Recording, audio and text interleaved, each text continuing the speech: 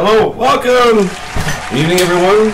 Welcome to Steve Saturday Night Beer Review. Happy 4th of July weekend. Last weekend was the weekend we celebrated Canada's birthday, and this weekend it's the Americans' turn. Uh, a lot of Canadians don't like Americans. I'm not sure why. The Americans buy 70% of our crap. It's uh, the Americans are the reason why we're such a uh, rich country.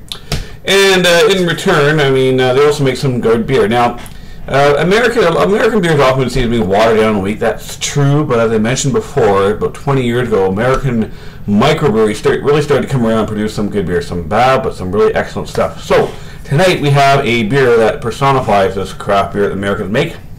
Shipyard Monkey Fist IPA, India Pale Ale.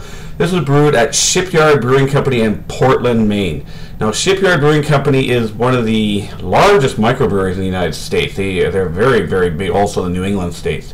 Uh, quite popular, actually. I is the first time I ever tried the beer. It's a strong beer, too. 6.9, which is strong even by Canadian standards. Let's see if us Canucks can handle that. And also, can big brass boobs help to help? We'll see. Uh, didn't see many fireworks off for the Americans this weekend. Oh well. So it's an IPA. It looks a little bit darker.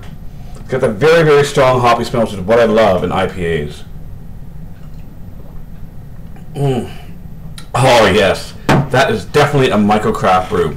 Never mind the big American breweries like Anheuser Busch or Coors or uh, uh, Miller. This the, the craft breweries are where you want to get for flavor and quality. You like IPAs, that strong hoppy taste. This is that Shipyard.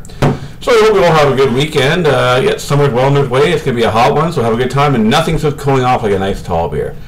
Take care, everyone. Until next time, Jansen out.